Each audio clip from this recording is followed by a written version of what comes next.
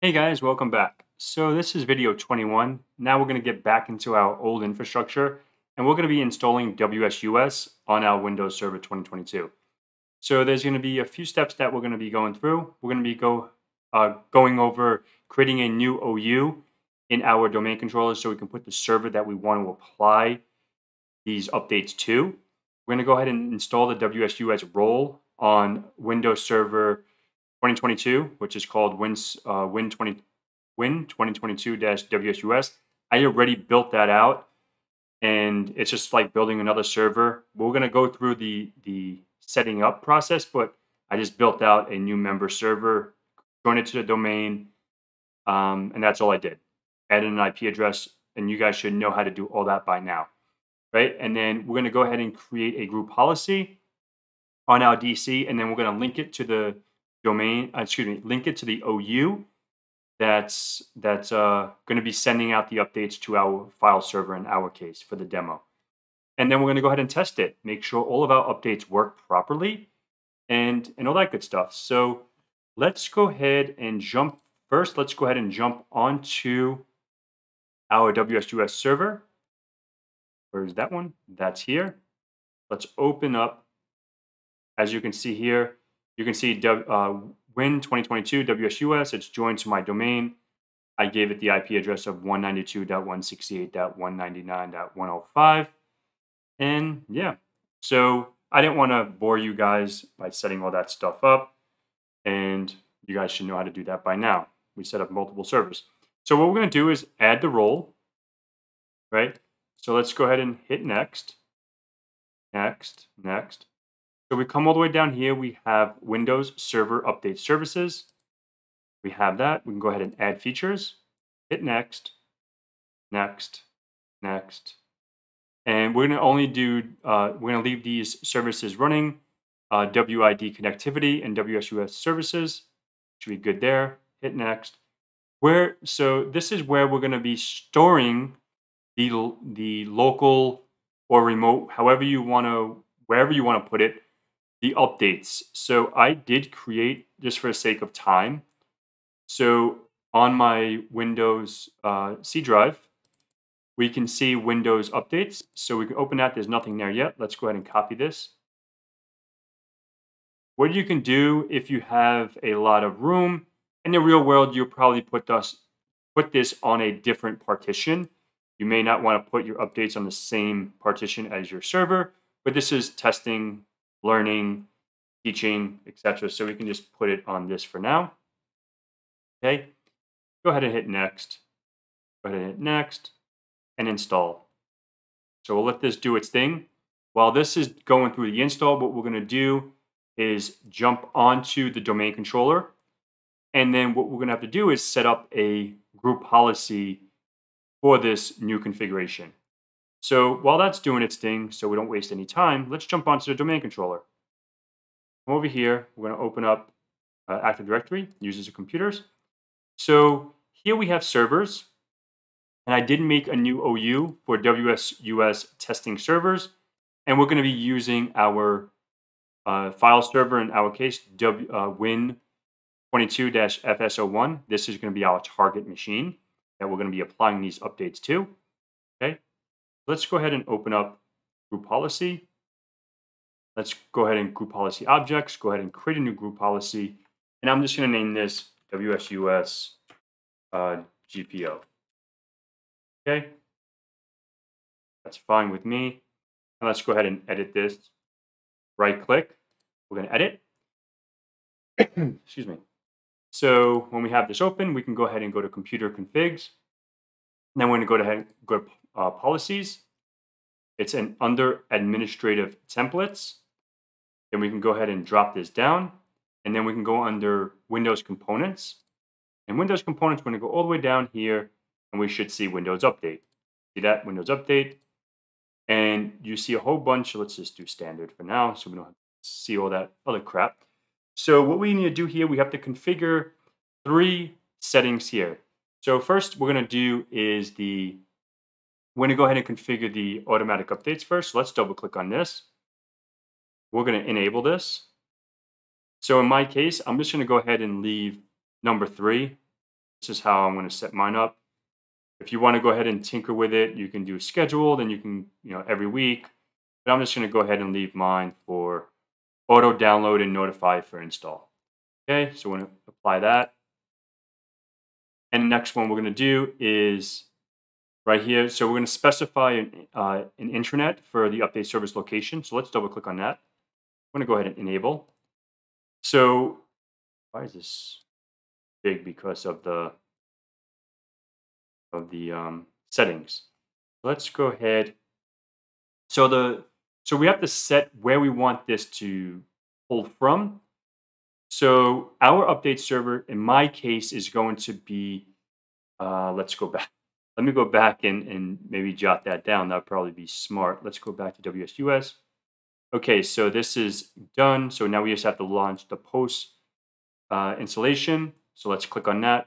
We'll go ahead and you know wait for that configure.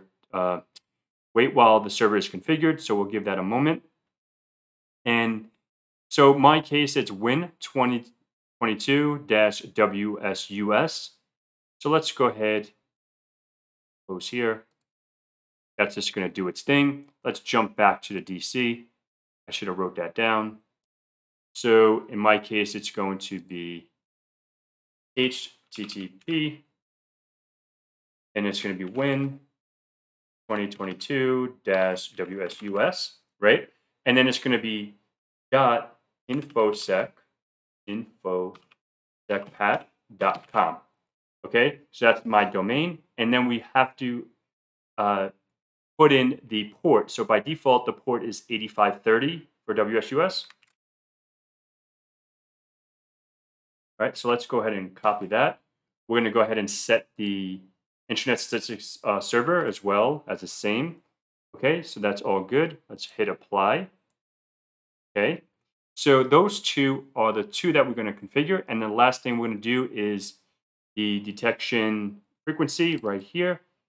And we're going to enable this. By default, it's 22 hours. I'm just going to go ahead and put two hours for the sake of time. Obviously, in the real world, you're not going to have this reach out to the server, each client every two hours. That'll be a little crazy. All right, so I think we should be good here. Let's go ahead and X out of here. So the last thing we have to do is go to servers, and this is where we're going to link that group policy in my case. Let's go ahead and link group policy. We're going to do WSUS group GPO. Perfect. And let's just go ahead and look at the settings, make sure it all looks good for my sake. All right, so that looks good. HTTP, Win22. Okay, perfect. That all looks good. All right, so we should we should be good there. All right, so let's go back to our WSUS server. Okay. All right, so it all looks good. Perfect. Good. Awesome. We can see it here. Let's go ahead and go to Tools, WSUS. Open this bad boy up, and we can configure this. I want to go ahead and make this display a little bigger for all the blind people like me. So, all right, so that's a little bigger. That's better. So now let's go ahead and click on next here. Well, I'm I don't care. I don't want to join a Microsoft Update Improvement Program. Not today. So we're going to go ahead and sync uh, with Microsoft Update in my case because I don't have any other WSUS service to synchronize with. So I want to go with that first option. I don't have any proxies, so we can bypass that. We can start connecting this is going to go ahead and connect to, to Microsoft update services and pull down all the updates and everything that's that's needed. So we'll give that a few moments. Okay. So now while this is going, doing its thing, I want to go ahead and go to my file server. Okay, this is the file server, I believe. Let me, let's go ahead and open up man prompt. And let's do hostname real quick. Okay, this is my file server.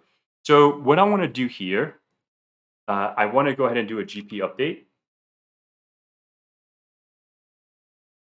Of course.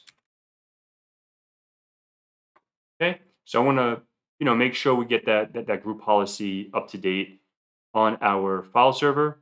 We want to make sure we, you know, pull that new policy that we just created, right? So now let's go ahead and do a GP result, result, and GP result slash R. Okay. Go back up. We can see right there. Boom. We are good. This one is applied. Perfecto. All right, let's go back to our WSUS server. So this is going to go ahead and take some time. So what I want to do at this moment, I'm going to pause the video and resume once this is good and we can continue.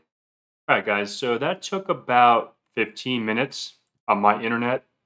So just to give you a uh, background of how long that took. So now let's go ahead and hit next. And these are all the languages. In my case, English is what I need. That's all I need. And I want to hit next. And it's going to show us all the products. And in my case, I want to come all the way down to Windows. And then I want to do Windows Server.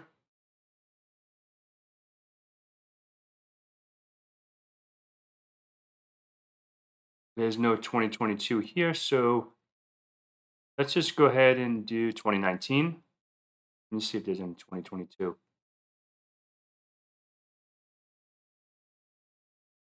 That's fine. Uh, up here? I am, nope. I'm just gonna do 2019 and see what it, you know, see what happens. Okay, so let's go ahead and hit next. And this is all good for me. I want to do critical updates, definition updates, and security updates. That's all good for me. We're going to do synchronization manually. That's perfectly fine with me. And I want to begin the uh, synchronization now. Let's go ahead and hit next. Finish. Now we have this installed and ready to go. Okay, so now at this point, what we can do is open up in my case, my, my server, we can see the synchronization is at 0%, and this is probably going to take some time as well.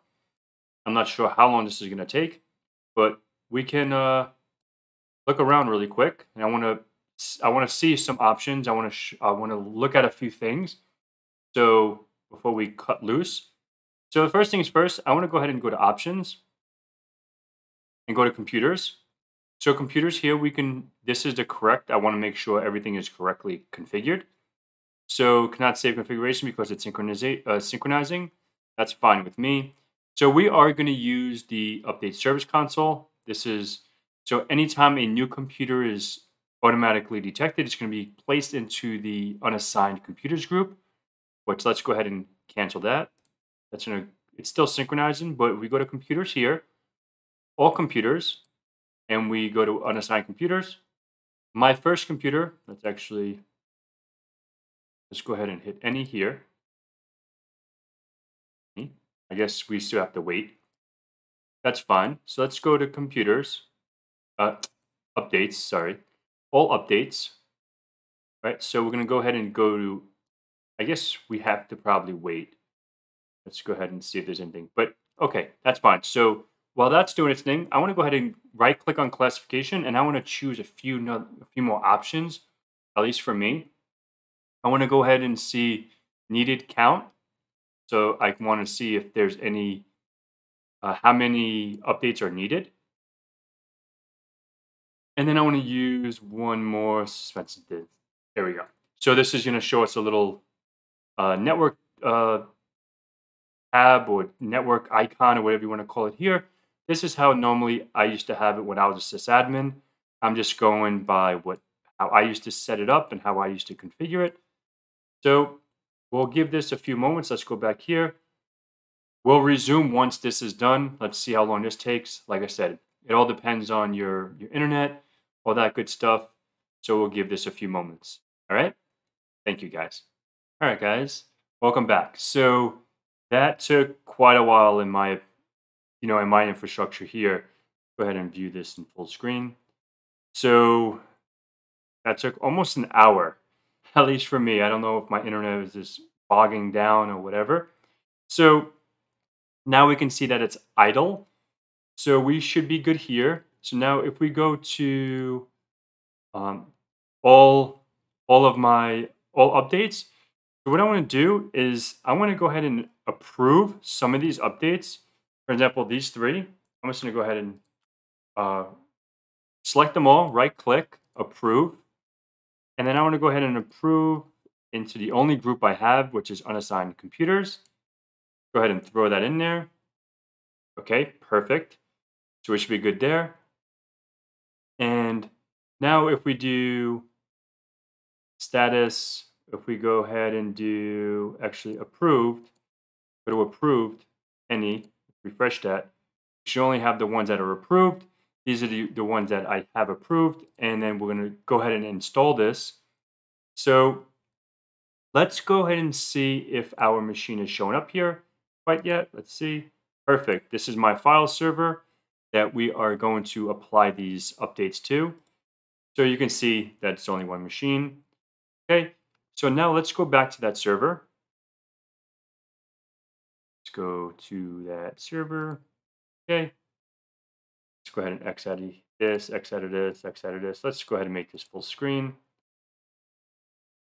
All right, so now I'm on my uh, file server. So there's a few few things we have to do first. I want to go ahead and do a GP GP update slash force, and then I want to run a utility to detect the the server just to make sure everything is good. Even though we have it there, I just want to do a GP update really quick. Okay, and once that's good, we should be golden. All right, so let's give that a moment.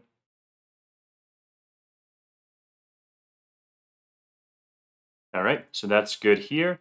So now let's go ahead and just do check for updates.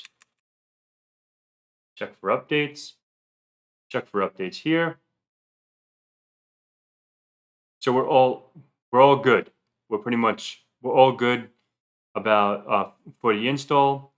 Let's go back to our WSUS server. And we have the ones that are approved. So now let's go ahead and select all and we can approve these. So now we're going to approve for install. Okay. All right, so let's refresh this. All right, so now we're good here. So now once, so so we have it, so every hour it checks in. Uh, you know, we change that on the group policy, but we can see now, let's go back to our our client machine, in this case, our file server. We hit check for updates. We'll see if it's going to pull down. We'll probably have to wait a little bit, but we can see that we are good to go. And we can see that, you know, the intranet when, uh, update service is being detected by the updates, administrator, group policy. So we are golden. We're good here. And I did restart this machine, so it probably installed a, you know, those those updates. So let's go back really quick. What we're going to do really quick, I can go ahead and approve some others. You know what? I'm not going to even tinker with that.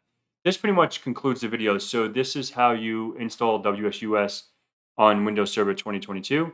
It's pretty much identical um, to Windows Server 2019. And this is how you do it.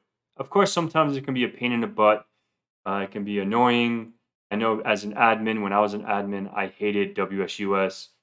And it was always like, it was always, you know, flaking out on me. But this is how you set it up, and this is how you deploy with group policy. And this is the setup. So I appreciate you guys. If you have any questions, feel free to leave me a comment below. And until next time, folks, have a good one. Thank you.